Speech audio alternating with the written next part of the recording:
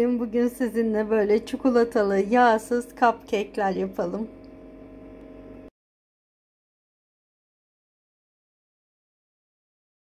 Gelin bugün sizinle çok lezzetli ama bir o kadar da hafif yağsız çikolatalı cupcake'ler yapalım. Bunun için 4 adet yumurtaya ihtiyacım var. Şöyle bir su bardağı şekerim ile 4 adet yumurtamı çırpıyorum şöyle mikserim ile. Şimdi ses olmasın diye hemen çırpıyorum ben.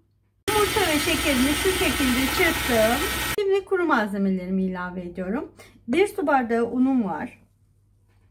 Şöyle. 3 yemek kaşığı kakaom var. Eğer bu keki sade yapmak isterseniz 3 yemek kaşığı kakao yerine sadece 3 yemek kaşığı ilave un kullanabilirsiniz. Vanilyam ve kabartma tozum var. Şimdi kuru malzemeleri de çırpıyorum hemen. Şu şekilde gördüğünüz üzere kek hamurum harika bir şekilde hazır.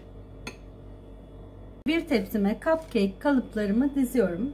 Bir kaşığım ile ya da, ya da bir hamur dağıtıcım ile şöyle kek hamurumu cupcake kalıplarıma yarısını biraz geçecek şekilde dolduruyorum. Şimdi bu şekilde bütün cupcake kalıplarımı doldurayım.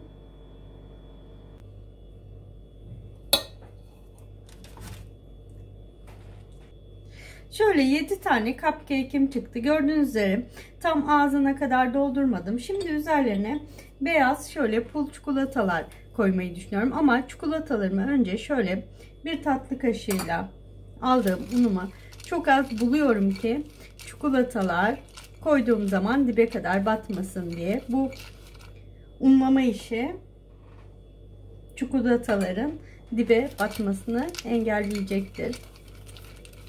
Şöyle üzerlerine beyaz çikolatalarım ile süslüyorum.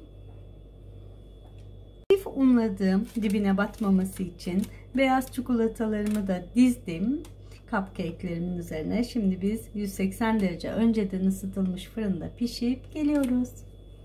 Şu şekilde yağsız cupcake'lerimiz servise hazır.